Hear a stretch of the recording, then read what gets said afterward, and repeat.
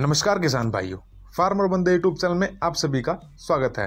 किसान भाइयों, आज की वीडियो में हम तुलना करने वाले हैं स्वराज 744 और महिंद्रा के 575 एक्सपी के बारे में। तो जो किसान भाई हमारे चैनल पर पहली बार नए आए हैं तो वो प्लीज़ चैनल को सब्सक्राइब कर लें और साथ में बेल आइकन है, उसको भी दबा लें ताकि आप तक हर वीडियो की जानकारी समय से पहुँचती रहे। किसान भाइयों, चलिए जान लेते हैं कौन सा ट्रैक्टर किस पर अपनी टेक्नोलॉजी को लेकर भारी साबित होता है? तो दोस्तों, बात करते हैं दोनों ही ट्रैक्टर में क्या क्या समानताएँ हैं। किसान भाइयों, दो ट्रैक ये दोनों ट्रैक्टर आपको पावर स्टेयरिंग और मैकेनिकल में मिल जाएँगे। अगर आप पावर स्टेयरिंग लेना चाहते हैं तो वो भी आपको मिल जाएगा, और अगर आप मैकेनिकल लेना चाहते हैं तो वो भी आपको मिल जाएगा। चलिए अब टायरों की बात करते हैं। किसान भाइयों दोनों ही ट्रैक्टरों में आपको तेरह छः अट्ठाईस और चौदह नौ अट्ठाईस के टायर पिछले मिल जाएँगे।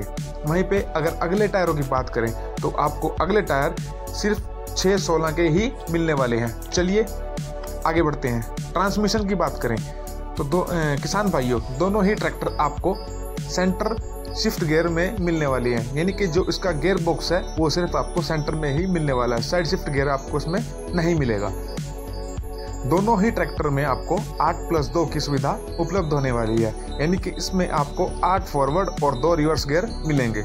किसान भाइयों, अगर क्लच की बात करें तो आपको सिंगल व डुअल क्लच में दोनों ही ट्रैक्टर में सुविधा उपलब्ध होगी। कूलिंग सिस्टम की बात करें तो दोनों ही ट्रैक्टर में आपको वाटर कूल्ड के साथ आपको उपलब्ध होने वाले हैं। एयर फ़िल्टर की बात करें तो three stage oil bath type का फ़िल्टर इनका होने वाला है। वहीं ब्रेक देखें तो ऑयल इमर्सिड दोनों ही ट्रैक्टर में आपको ब्रेक मिलने वाले हैं। तो किसान भाइयों, ये तो थी दोनों ट्रैक्टरों में सेम टेक्नोलॉजी की बात। अब देखते हैं कि कौन सा ट्रैक्टर कहाँ पे भारी साबित होता है। किसान भाइयों, महिंद्रा पाँच सौ एक्सपी में आपको सैंतालीस एच पी चार सिलेंडर और उनतीस सौ उन्यासी सी मिलने वाली है, जो कि 2000 आरपीएम पे अपनी फुल पावर जनरेट कर देता है। वहीं सात सौ चौवालीस आता है 44 एच तीन सिलेंडर और इकतीस सौ छत्तीस सी जो कि 2000 आरपीएम पे ही अपनी फुल पावर को जनरेट कर देता है। किसान भाइयों, महिंद्रा की पीटीओ की बात करें तो आपको मिलने वाली है बयालीस एच की दमदार पीटीओ और इस ट्रैक्टर में आपको रिवर्स पीटीओ भी मिल जाएगी। वहीं पे अगर स्वराज की बात करें तो स्वराज में आपको सैंतीस एच और रिवर्स पीटीओ मिलने वाली है, जो कि 540 आरपीएम हज़ार आरपीएम पे जनरेट कर देती है। चलिए, अब बात करते हैं दोनों ट्रैक्टरों की लिफ्ट कैपेसिटी की। तो किसान भाइयों, महिंद्रा ट्रैक्टर में आपको मिलने वाली है 1600 केजी लिफ्ट कैपेसिटी वहीं अगर स्वराज में देखें तो स्वराज में मिलने वाली है आपको 1500 लिफ्ट कैपेसिटी दोस्तों, अगर महिंद्रा की स्पीड की बात करें तो यह ट्रैक्टर इकतीस दशमलव पच्चीस किलोमीटर प्रति घंटे के हिसाब से रोड पे भाग सकता है।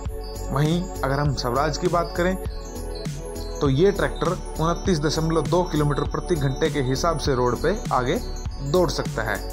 तो दोस्तों, अब बात करते हैं इन ट्रैक्टर की गारंटी और मूल्य की।